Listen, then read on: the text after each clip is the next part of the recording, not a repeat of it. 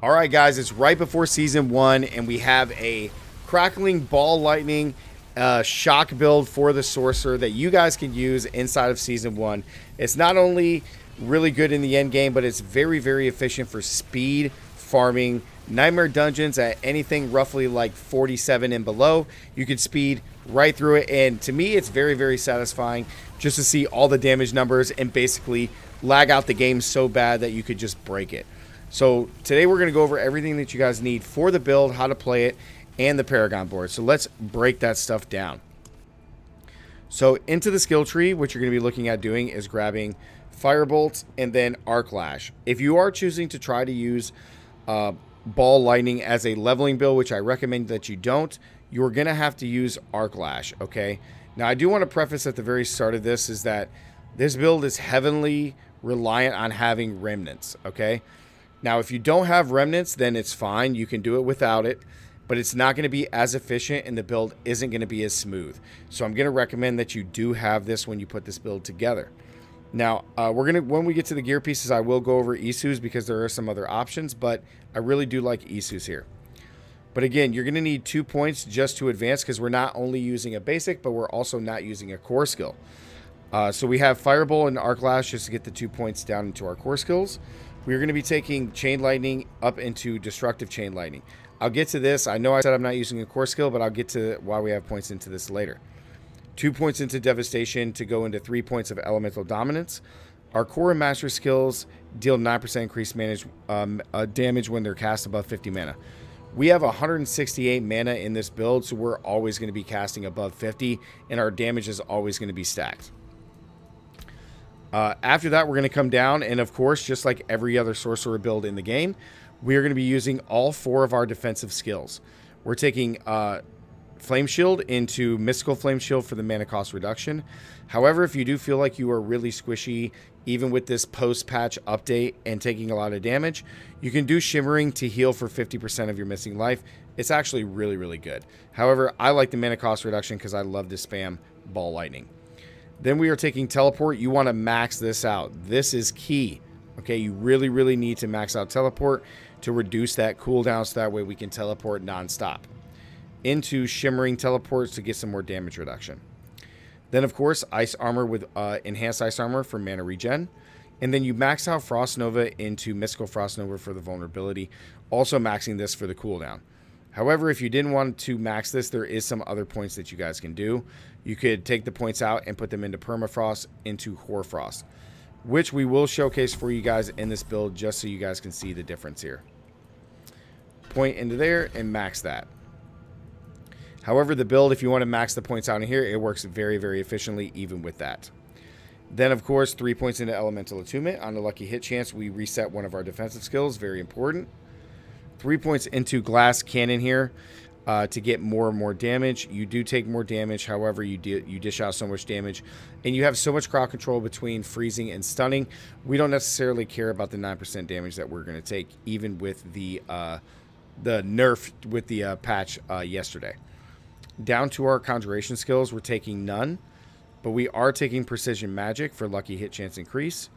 And then we're taking align the elements into mana shield and protection not only for a barrier, but for more mana shield so we can be a little bit more tanky. However, if you do want to, uh, because of our uh, unstable currents, if you do want to point a point into this, you can. Otherwise, it's not a big deal. Uh, we're going to come down and we're going to grab mastery skills. We're not taking any mastery skills except for the main one, ball lightning.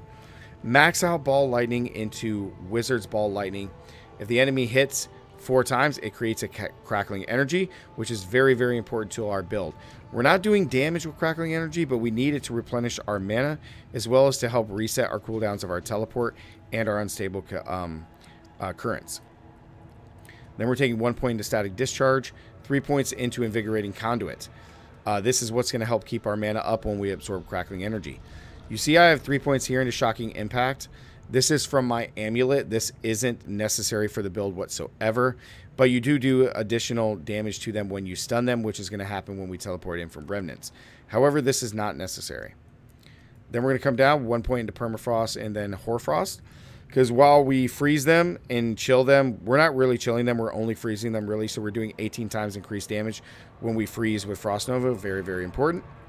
And then Unstable Currents just to prime. We don't need the extra here because Crackling Energy continues to pulse and consumes no charges. We don't necessarily care about that. We're going to kill everything anyway, so we just need the increased attack speed. Uh, and then for our key passive, we are doing Overflow Energy. Overflowing Energy. Crackling Energy hits an additional time. And then when it hits, our shock skill cooldowns are reduced. This is mainly for teleport, but when we pop unstable currents, this is going to help reset this, okay? Uh, if you don't want that and you want to deal some more damage initially and not reset uh, teleport, you can take Vyr's Mastery for just the increased 10% damage from shock skills and then the damage reduction. Okay, both of these are really, really good. However, I find that overflowing energy just makes the build flow more and it's easier to play with it. Okay, let's get into our gear pieces and the choices that we have. I know that I, it shows that I have a low attack power here, but that's okay. In our helmet, we have Frost Blitz to get a second charge of Frost Nova, Nova at an increased cooldown. Then, of course, Remnants. Then we're taking Exploiters. I've been testing this, and this seems really good because when monsters are unstoppable and we can't crowd control them with stun or freeze, this build doesn't do a whole lot of damage. A lot of our damage comes from freezing and stunning them. So this really helps against those monsters, even bosses, which is really, really good. So I really like it. Uh, disobedience, of course, even though with the nerf. And then here goes one controversial one that I really like. So Esu's is going to give us increased move speed, but more importantly, we're going to have the crit strike chance increase based on our movement speed. So I have a movement speed of 117%. This can be a lot higher. I'm looking for a better amulet to give me move speed. And once I get my move speed to 150%, it'll be better. But I gain 24% of this movement speed percentage, which is roughly 28% increased crit chance, which is really, really good because we want to do a crap ton of damage with this build. However, you this is not required. You can always swap it out. These are the boots that I was using before. These boots are almost perfect. The increase to teleport ranks and Frost Nova ranks is very, very important. The mana reduction is cool. If these boots replaced Dex and had the movement speed, then I would still probably use these, but you can definitely do this instead of Esu's. However, the crit chance increase makes this build uh, do a lot more damage, but you know, it just kind of depends on what you're up to. Uh, after that, we have uh, Gravitational, which Ball Lightning orbits around us and does less damage. Then in our Amulet of Control, which I need a better one, I need a Ancestral. We have Control to deal damage when they're immobilized or stunned. Again, this uh, helps with Exploiters. Um, and then we have Prodigy for when we use a cooldown, we get mana reduction back. And then Retribution, when we stun somebody, we do increased damage. In our offhand, we are doing uh, Conceited, so that way whenever we have a barrier, which is always, we do increase damage. Now, let's go ahead and showcase the build just a little bit, guys, so you guys can see a little bit more of it.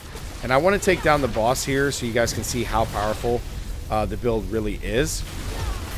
The build plays pretty simple. You pat, you pop one um, ball lightning, you teleport in, cast your Frost Nova, and then just let it rip, okay? You can pop Unstable Currency to reset everything, or help reset everything, and then everything just dies on the screen. It's very, very good. Oh, cool, we got a Legendary. Let's go ahead and pop. Pants. Awesome. Stuff I don't need. You want to make sure that you're moving around and non-stop casting your ball lightning. Now again, this was with the permafrost. You don't necessarily need this. To me, I rather have the increased cooldown and frost with uh, having the maxed out points inside of Frost Nova. So now you guys will be able to see this. Uh, we're going to go down and kill this, and then we're going to kill the boss. So again, we're just going to pop one of these. We're going to teleport in, freeze, pop your shield, and then everything pretty much dies. It's pretty good. Now, we're going to skip over and fight the boss so you guys can see it, so I'll see you guys at that point. Okay, now let's go defeat the boss and see how well this build does against a boss at Nightmare Dungeon 42.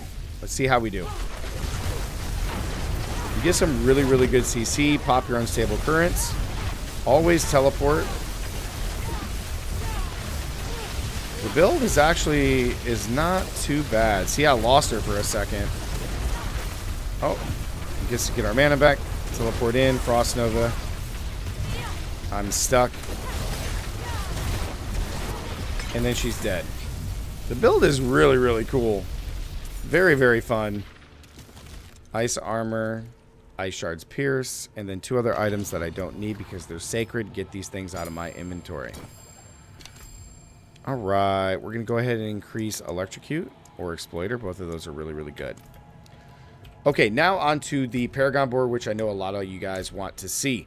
So this Paragon board has been worked on three times, and we've changed it multiple times, but so far this seems to be what works the most consistent. Um, so starting first board, we're coming up, we're taking Elementalist uh, for non-physical damage and max life. And then our first one is Territorial. We're always going to be up close and personal. So make sure that you have this. We're always going to be up close. And then we take uh, Elemental Balance.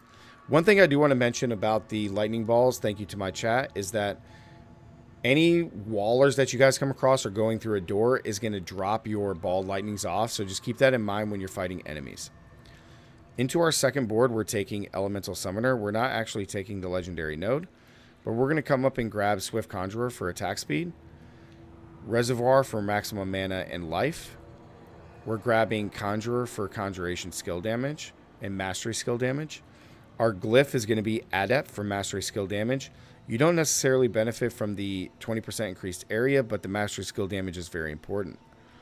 Then we're taking uh, a Rude, a Rudite, I think I said that wrong. You guys are going to butcher me in the comments. But uh, more mastery skill damage. Um, into board three, we're going to come over and take Frigid Fate. We're not actually taking this because we don't care about our lucky hit chance necessarily. But we're going to come in and grab Weakness for more vulnerable damage. Uh, chilling for more intelligence. Uh, and then Electrocute is going to be our glyph for increased critical strike chance.